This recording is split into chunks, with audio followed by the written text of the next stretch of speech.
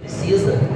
O nosso esporte amador está abandonado, as nossas escolinhas de futebol estão abandonadas. Então eu acho que isso é, é isso que nós precisamos. Nós vamos, primeiro, minha gente, atender as coisas básicas que a população precisa.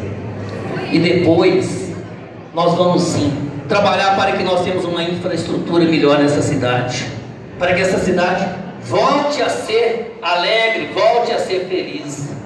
Porque hoje às vezes a gente fica escutando por aí, as pessoas que estão aí no governo, viu Diego?